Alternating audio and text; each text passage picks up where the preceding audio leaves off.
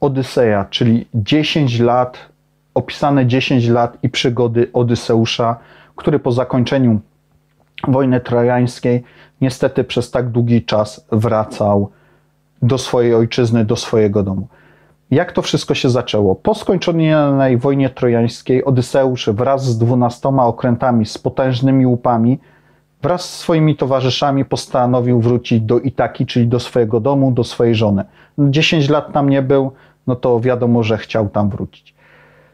Kiedy już wypłynął, po drodze wylądowali na wyspie cyklopów. Cyklopowie to takie olbrzymy z jednym okiem, duzi, silni, bardzo niebezpieczni.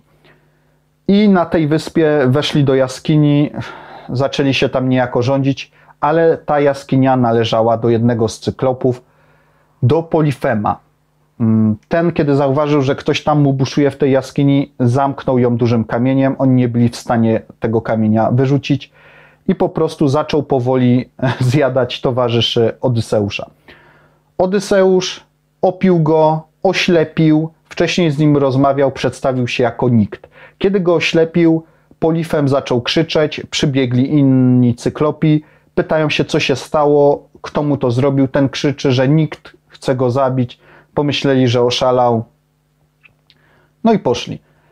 Polifem czeka przy tej jaskini, żeby wyszli. E, Odyseusz pomyślał, pomyślał. Były tam owce, pod tymi owcami po prostu chwycili się i chociaż ten cyklop sprawdzał każdą owcę, to nie pomyślał, że pod spodem są ludzie. Wtedy Odyseusz z towarzyszami udali się na okręty i tutaj Odyseusz popełnił błąd. Chociaż był to najmądrzejszy z tych e, greckich mm, Greków walczących pod Troją, to jednak krzyknął do Polifema, który stał na brzegu, swoje imię. Polifem jako syn Posejdona krzyknął swojemu ojcu, że ten go oślepił, oszukał, Odyseusz, a, Odys a Posejdon po prostu przeklął Odyseusza. I tak się wszystko, można powiedzieć, zaczęło. Po drodze dopłynęli w te 12 okrętów do władcy Eola, który władał wiatrami. Ponieważ bardzo polubił Odyseusza, wówczas dał mu worek. Worek, on był władcą wiatru.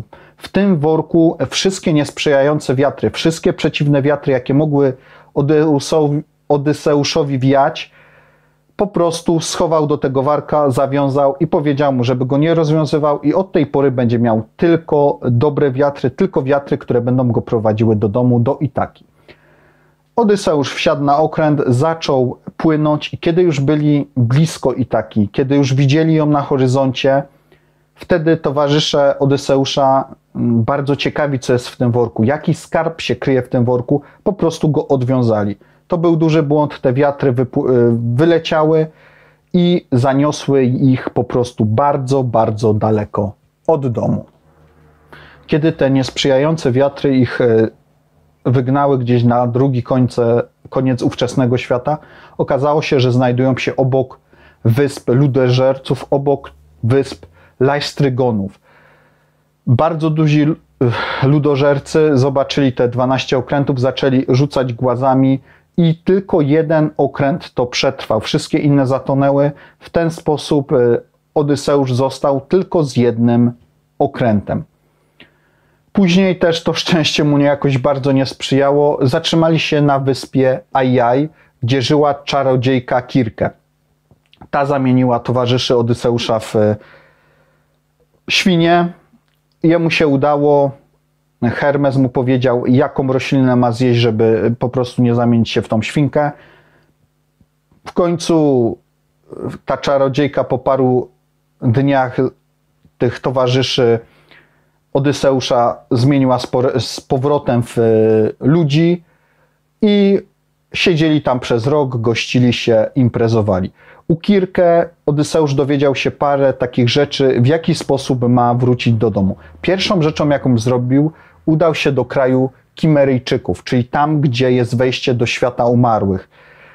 Porozmawiał z tymi swoimi byłymi towarzyszami, którzy zginęli, z swoją rodziną. Z powrotem wrócił na wyspę do Kirkę i wyruszył po prostu w podróż powrotną. Po drodze była wyspa Syren. Jak wiemy, Syreny swoim śpiewem mm, przekonywały żeglarzy, żeby do nich podpłynęli, no i było po nich. Kazał Odyseusz swoim towarzyszom, żeglarzom pozatykać uszy woskiem, tak żeby nic nie słyszeli. A siebie, ponieważ chciał posłuchać tego śpiewu syren, jak on to wszystko brzmi, kazał się przywiązać do masztu. No i prze, przypłynęli, ci nie słyszeli, Odyseusz chciał, żeby go uwolnili, oczywiście tego nie zrobiono i popłynęli dalej. Ale tam trafili na kolejną przeszkodę. Była to cieślina pomiędzy Scylą a Czarybdą, czyli mm, dwoma potworami, które y, ta ścieślina była niewielka i te potwory po prostu z pokładu porywały bardzo często marynarzy.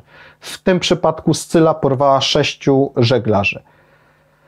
Dalej płyną, trafiają na wyspę, tam potężne stada bydła, pasą się, nikt ich nie pilnuje. Odyseusz już nauczony doświadczeniem mówi swoim